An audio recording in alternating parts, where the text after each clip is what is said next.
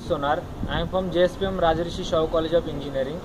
First of all, I will congratulate the NPTEL team who is conducted the online certificate courses.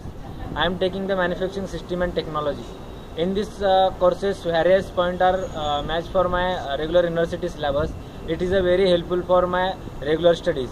Uh, this is a this online certificate course. Uh, is very helpful for me and my friends. I am also interested for uh, another online certificate courses. This is very useful. Uh, I will give one suggestion for NPTEL team. Please create a more awareness for NPTEL online certificate certificate courses because they are very helpful for and PG student. Thank you.